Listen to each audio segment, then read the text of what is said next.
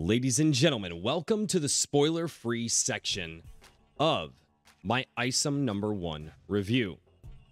This is going to be a little bit different than most of the videos that you guys are used to seeing from me because I actually took notes to make sure that I was thorough and that my thoughts were well rounded. Because it's a review and I tend to be just a critical person in general, I want to make sure that I put some notes down and thought them out before I come out here and just say some stuff and it gets completely and wildly misconstrued like my first Rippaverse video that got all of the libertarians big mad at me. So welcome to the spoiler-free section of ISOM. Stick around for the spoiler section because we'll get into why here in a minute. But thank you guys. So to start off, and I actually have the book just balancing back here in a terrible spot. To start off, let's talk about the book quality itself, which is incredibly surprising. Ow. Eric was not kidding when he said that the the book quality itself, he paid for some really, really high-end material to make sure that it was something that was durable and going to last a fair amount of time.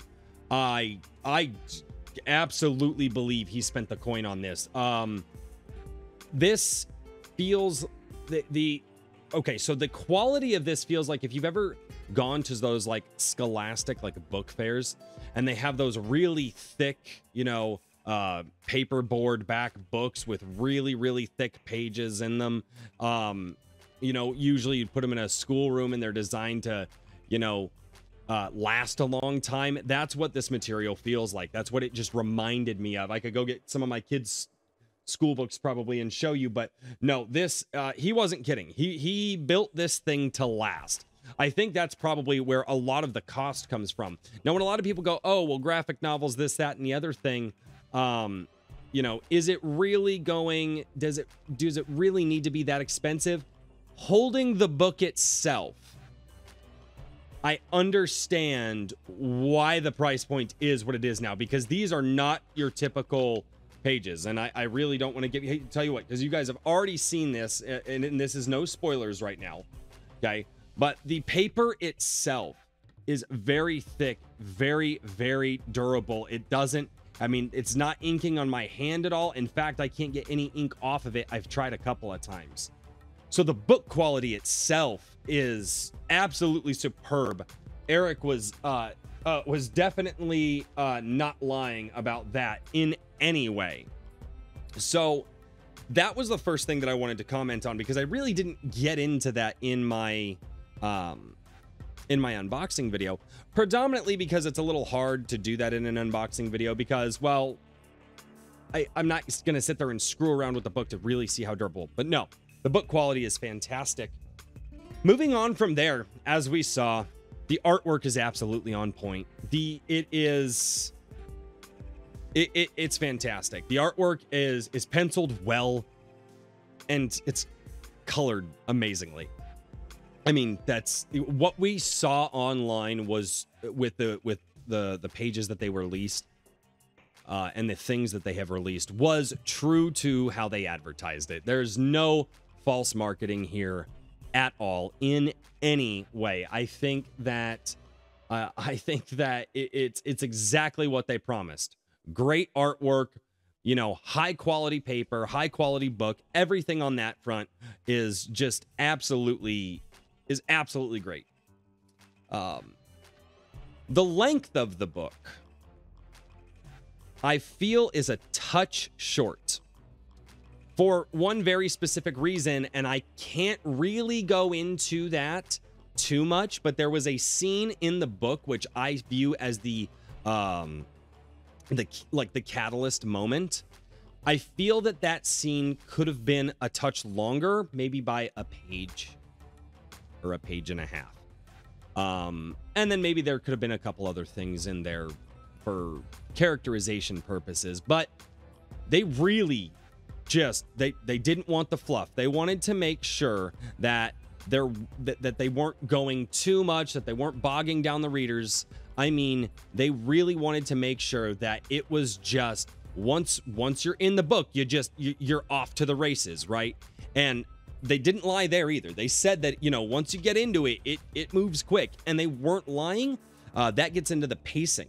So I felt the pacing was just, I mean, not quite breakneck, but very, very, very quick. I mean, start to finish, I think uh, I was able to finish. He said it's like 94 pages. No, I didn't count. Um, I think I finished it about 30 minutes this morning. I woke up and and I actually went through and leafed through again just to make sure my thoughts were good on it. Uh, the length overall, I felt he could go a little longer. Um, I, I really do. I mean, uh, I, you know, I know Eric said he was happy with the 94 page uh, thing. I mean, they could have gone, they could have gone the full hundred with the story. Uh, and I, I, I personally like, it's like a movie, right? It's like the first time you see, you know, like for me, Top Gun, and you're like, man, I wish Top Gun had about another 30 minutes to it. That's kind of how I feel with this, right? I, man, I wish there was just about another five pages, right? Because it was good, but I just felt I for for it to be like really great for me. I could have, I really could have actually wanted more, which is probably not a bad thing to say, right? so the pacing just gets there. There's no fluff. There, there's, there's no fluff here at all. He has to introduce an entire cast of people, not just Isom. So he has to focus on Isom and introduce an entire cast of people, and there is no fluff. And that no fluff thing benefits the book and I think hurts it a little bit. Again, could have used a couple more pages uh, to go over some things, but overall, that's fine.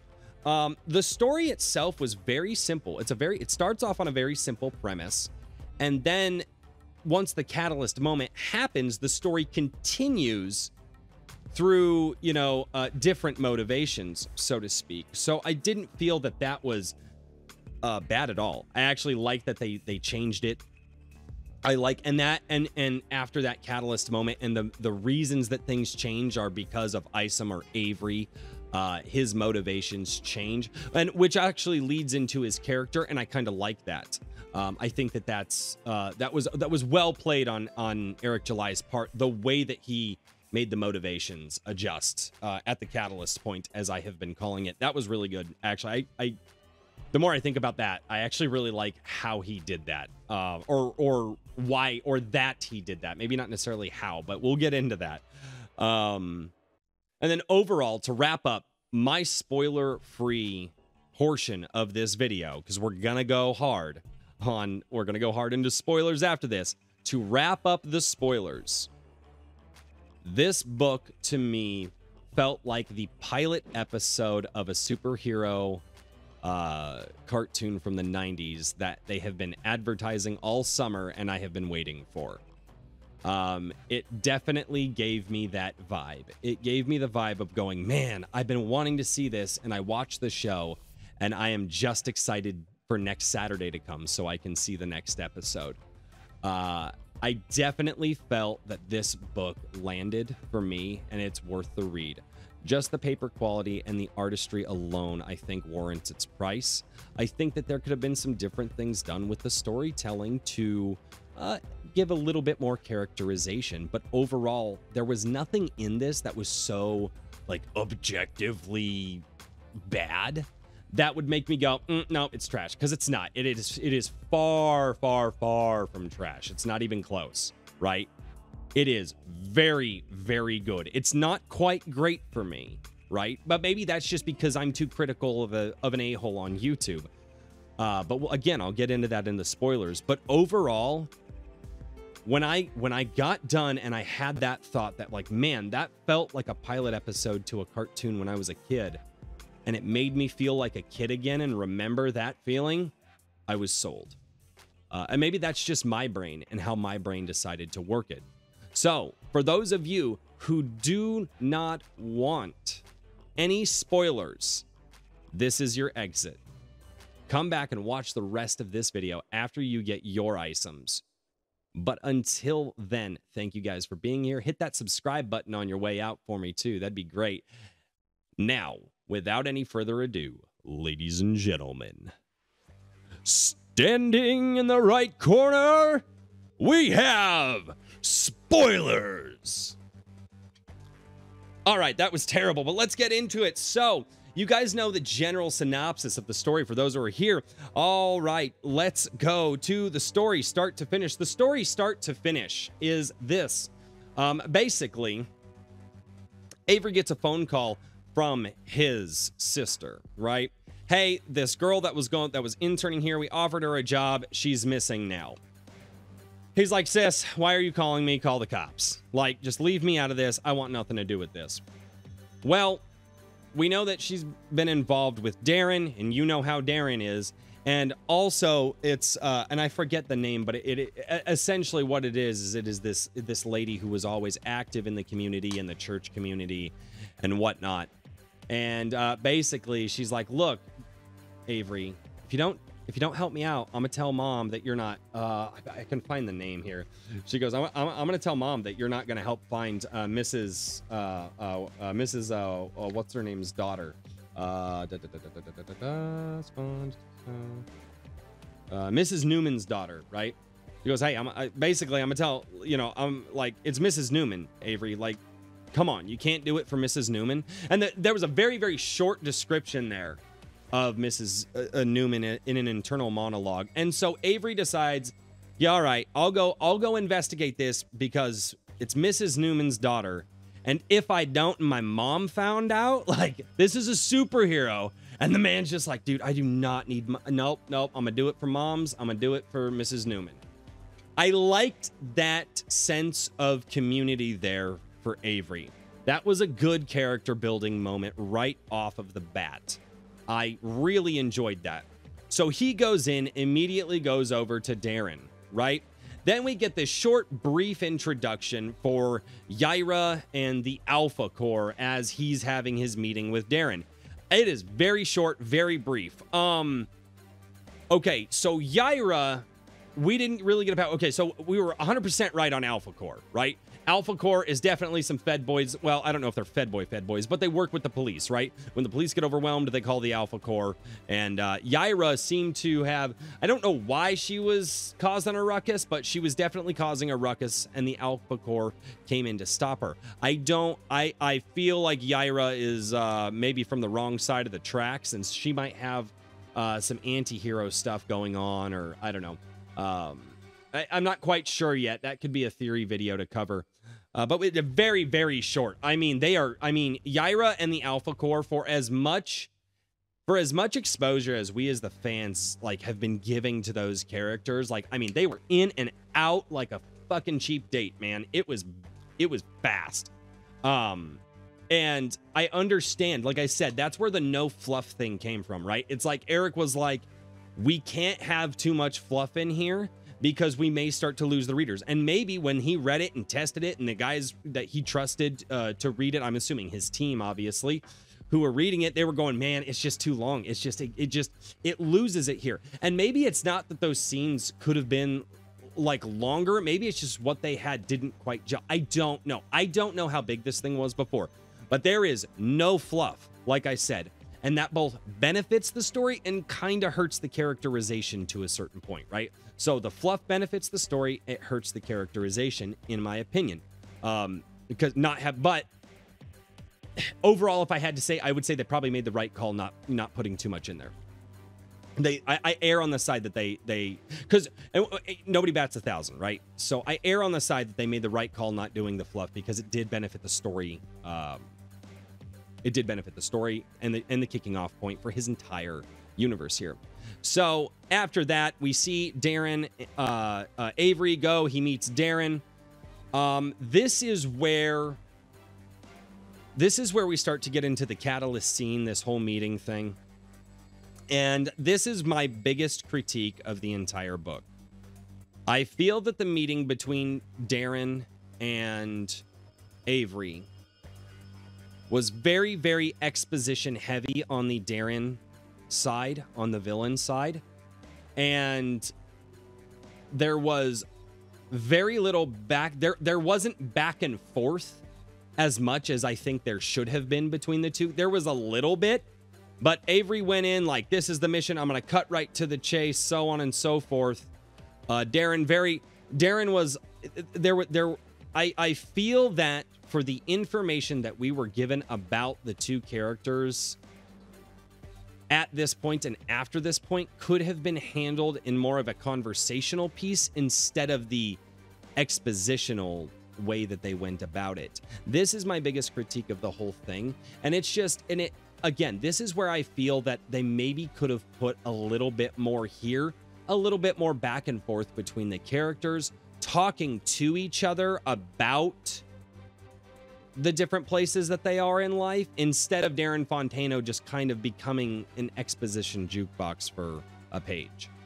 Um, at that point, um, at, at that point, Avery says, "Hey, I'm looking for this girl," and and Darren just flips. He just flips. I I am not personally a fan of that characterization. This is not objective on my standpoint.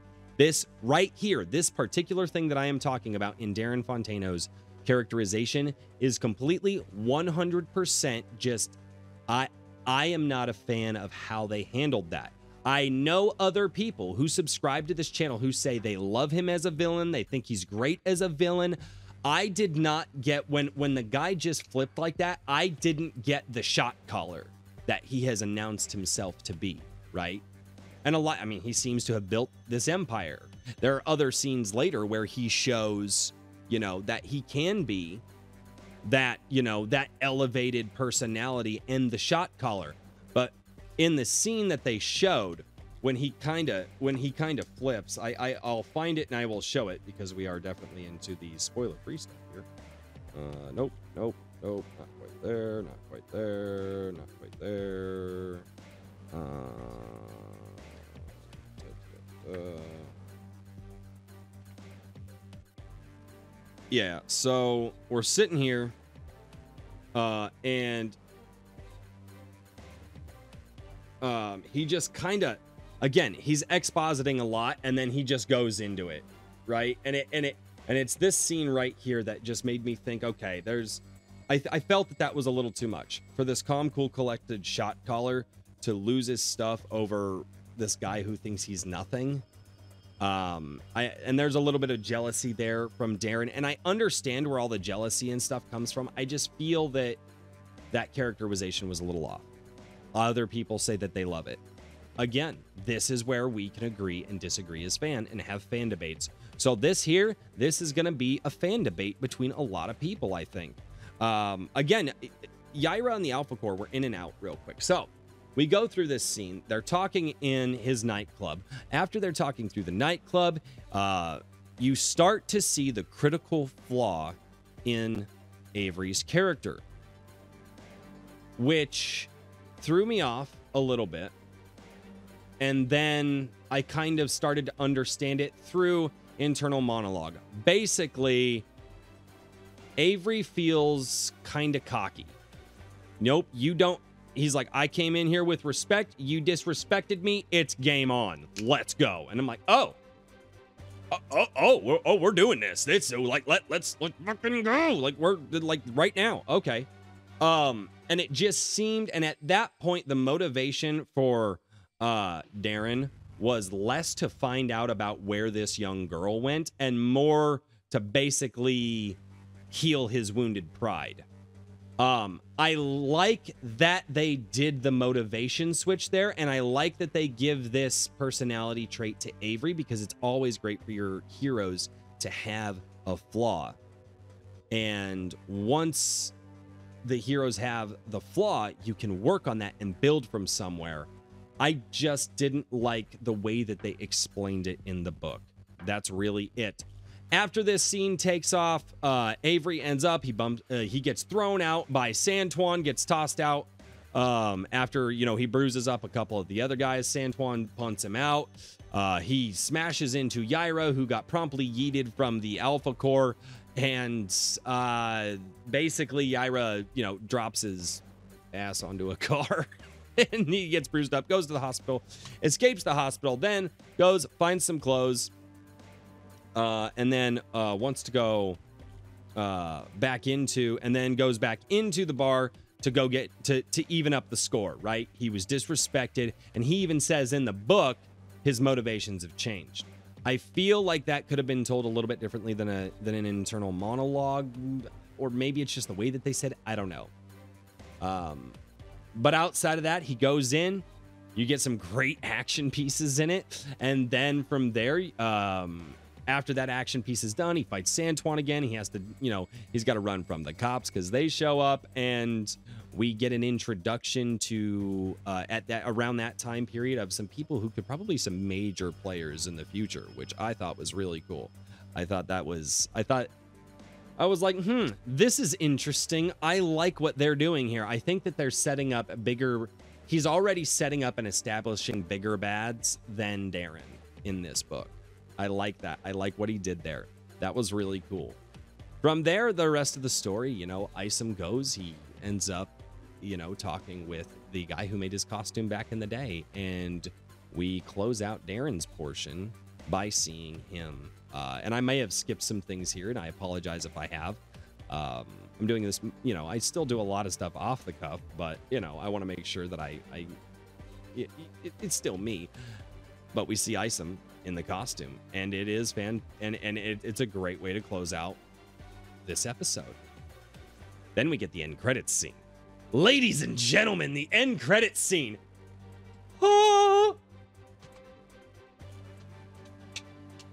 Ladies and gentlemen, the end credits scene. Okay. Norfrika.